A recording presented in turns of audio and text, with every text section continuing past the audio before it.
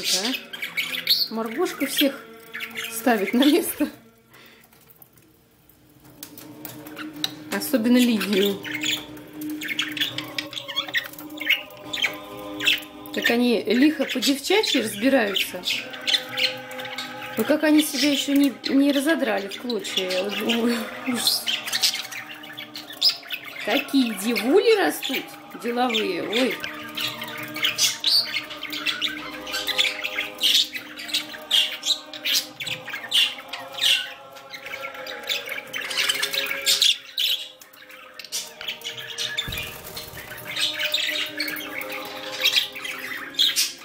Маргошка отовсюду поест, всех разгонит.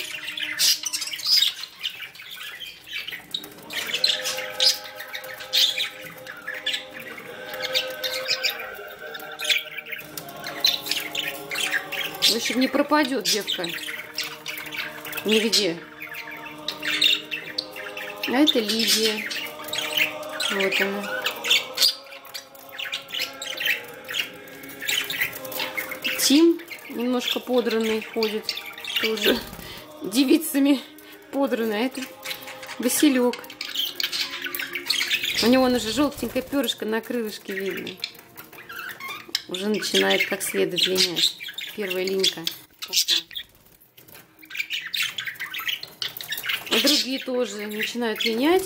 Кому два с половиной месяца, кому три уже. Уже вот такие у меня подросточки все.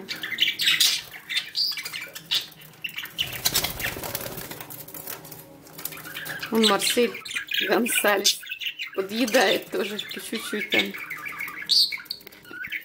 Он немножко такой пугливый, пугливый мальчик. Не любит конфликтных ситуаций. Хотя может иногда поставить на место запросто любого из ребят. Но только не девчонок.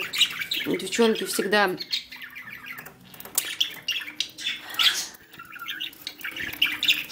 ставят все по своим местам, как им хочется. Мальчики, они более покладистые, конечно. И менее конфликтные.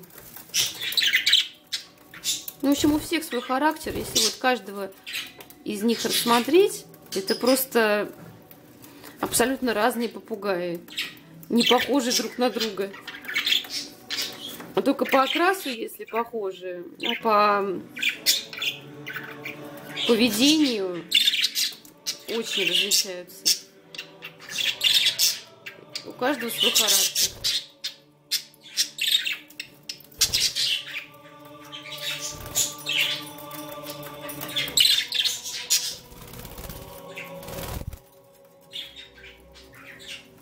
Ну все, уже наелись. Марсель доедает последние остатки.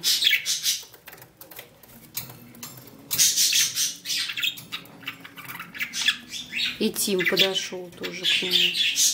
За компашку.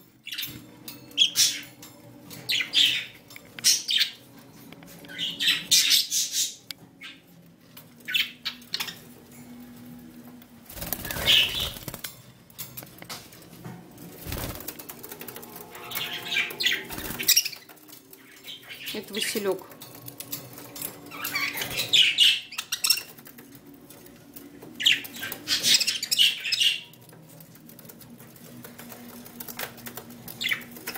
Ну, в целом, они уже друг с другом очень сдружились. Они уже привыкли друг к другу. Правда, здесь вот есть еще некоторые личности, так скажем, из другой оперы.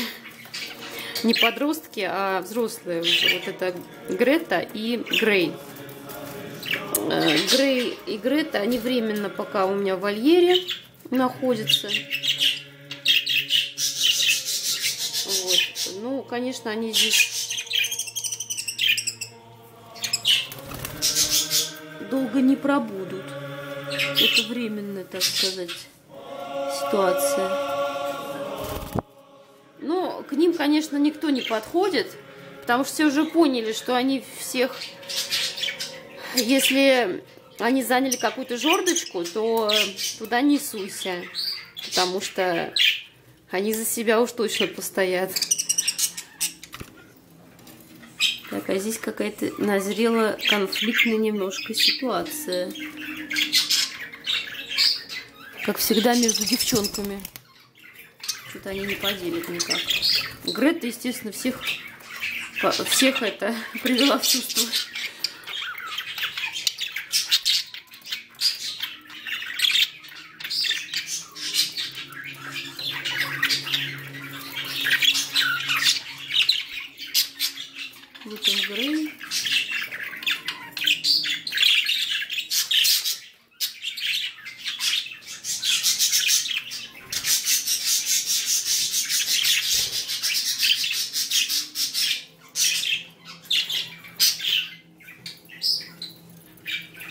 Там Тим бегает.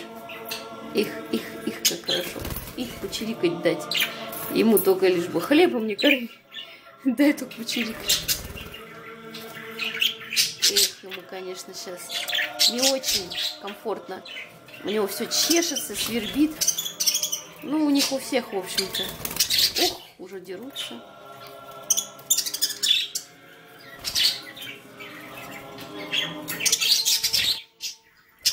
Лигия уже накушалась и качается с удовольствием. Маргошка всегда прогонит. Вредная крошка. Маргошка моя, вот она. Чик-чирик-чик-чирик. А Лигия посидеть вот здесь. Вот, где зеркальце.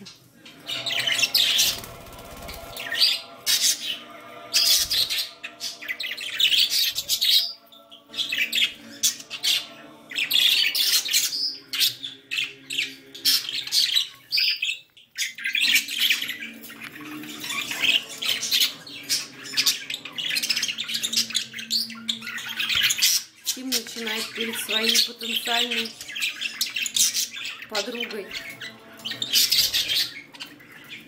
расхаживать. А пока в одиночестве.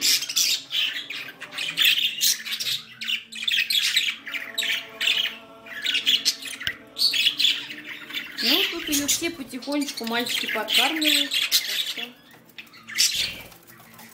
Я думаю, ей будет парт будет точно. Найдется кавалер. В общем, вот такая у меня веселуха. Действительно, достаточно весело слушать, как они... Вот этот гомон по утрам, утренний гомон, он, конечно, ни с чем не сравнится. Вечером уже такое идет затишье, такое перечерикивание. Вечером они менее активные. Вот. Но, конечно, обязательно нужно свет, подсветка, потому что хотя бы 10 часов в сутки птички должны находиться в бодрствовании. Вот, поэтому я с 5-6 часов я включаю дополнительный свет. Вот у меня свет. И они, конечно, сразу оживают. Вот. Веселятся. А тихий час у нас где-то с 3 до 4 вот, каждый день. Примерно в одно и то же время.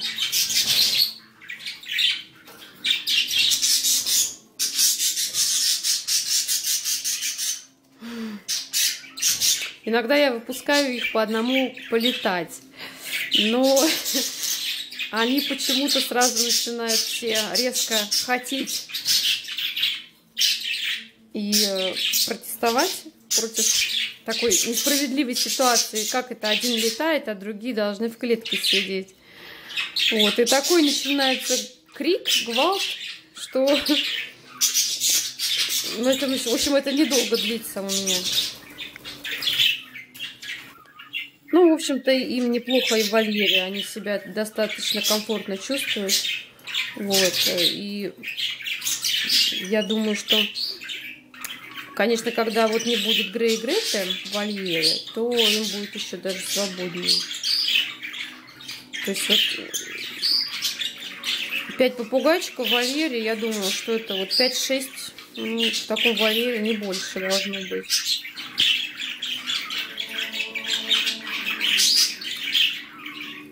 Ну, конечно, 92 сантиметра в длину, но все равно э, достаточно получается кучно